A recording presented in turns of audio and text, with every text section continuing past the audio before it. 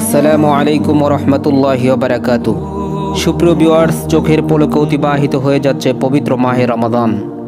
রহমত, বরকত, মাগফিরাতের মাস পবিত্র রমজান এত দ্রুত চলে যাচ্ছে কেন?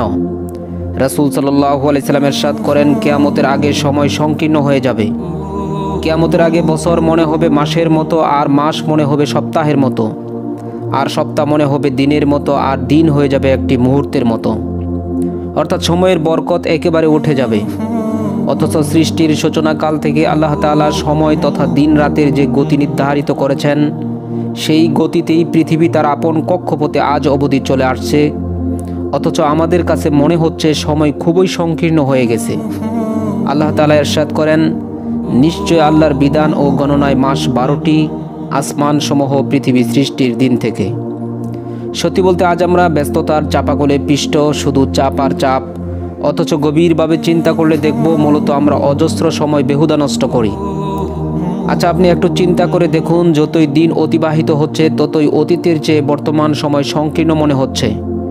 এজন্যই রসুল সাল্লাহ সাল্লাম বলেন, সময় নিকটতর তথা সংকীর্ণ হতে থাকবে, আমল কমে যেতে থাকবে, কৃপণতা ছড়িয়ে যাবে, ফিতনার বিকাশ ঘটবে এবং হারাজ ব্যাপকতর হবে।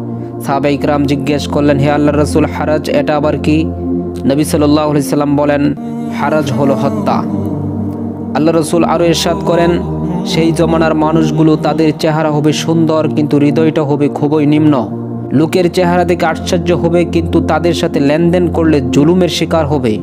তাদেরকে দেখতে মানুষ মনে হলেও তাদের হৃদয়টা হবে শয়তানের হৃদয়। সত্যি অবাক লাগে, এগুলো আজ শতভাগ বাস্তব। আজ আমরা গাফেল, রমজানের আগেও যেমন ছিলাম এখনও তেমনই রয়েছি। রমজানের আগমনে ফিরিস্তা ঘোষণা করেছিল, হে কল্যাণকামী, পুণ্য অর্জনে অগ্রসর হও, হে পাপাচারী, পাপ থেকে নিজেকে নিবৃত্ত করো। যে রমজানের পবিত্রতায় অভিশপ্ত শৈতান শৃঙ্খলিত হয়েছে, জান্নাতের দরজা উন্মুক্ত এবং জাহান্নামের দরজা বন্ধ করে দেওয়া হয়েছে, সেই অভিশপ্ত শয়তান মুক্ত হওয়ার সময় আবার গণিয়ে আসছে। জানি না কতটুকু গুণা মাফ করাতে পেরেছি। রসুল সাল্লাহ সাল্লাম বলেন, ওই ব্যক্তি ধ্বংসপ্রাপ্ত হোক যে রমজান পেল অতপর রমজান চলে গেল অথচ সে গুণা মাফ করাতে পারল না। আফসোস, আমার জন্য যদি আমি গুণা মাফ করাতে না পারি। কখন পৃথিবীবাসীর সময় সংকীর্ণ মনে হবে এবং সময়ের বরকত একেবারে উঠে যাবে? যখন তিনটি জিনিস সমাজে ব্যাপকভাবে প্রসারিত হবে। এক সুদ, রাসুল সাল্লাহ আলাইসাল্লাম বলেন মানুষের উপর একটি জমানা আসবে, যেই জমানায় তারা সুদ খাবে। রাসুল সাল্লাহ সাল্লামকে জিজ্ঞেস করা হলো, লোকজনের সবাই সুদ খাবে?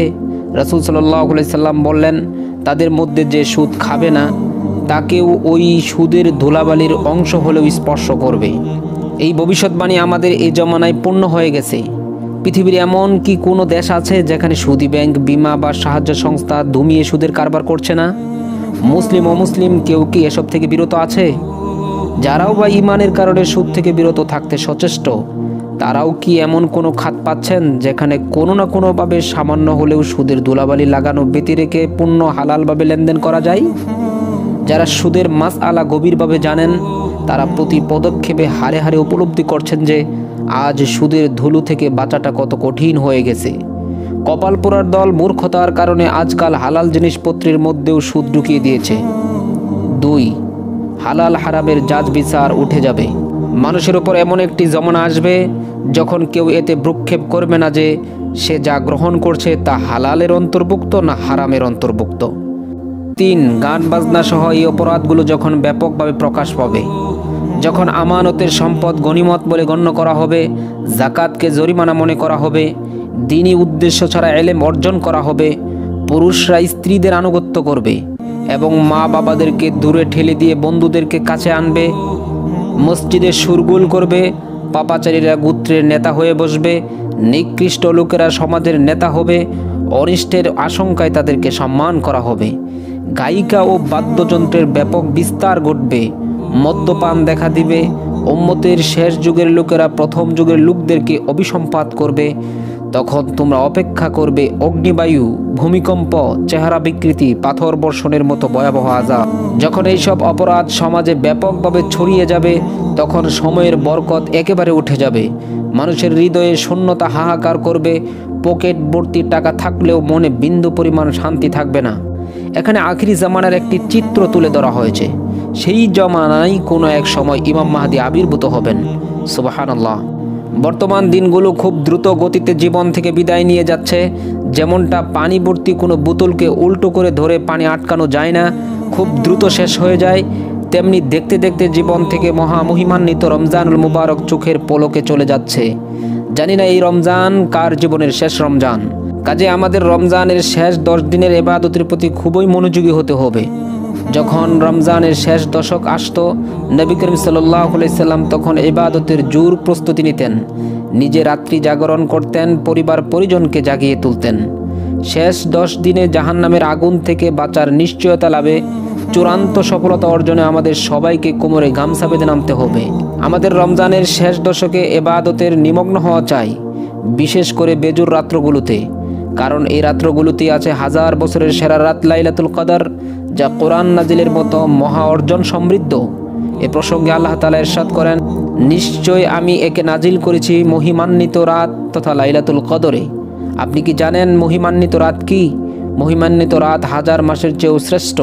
সেই রাতে প্রতিটি কাজের জন্য ফেরিস্তারা এবং রুহ তাদের প্রতিপালকের আদেশক্রমে অবতীর্ণ হয়। সেই রাতে শান্তি শান্তি, ফজর হওয়া পর্যন্ত। রাসুল সাল্লাহ সাল্লাম বলেন যে ব্যক্তি বিশ্বাস ও সবের আশায় কদর রাতে এবাদত বন্দিগিতে কাটালো, তার আগের জীবনে সব পাপ ক্ষমা করে দেওয়া হয়। সুবাহানুল্লাহ।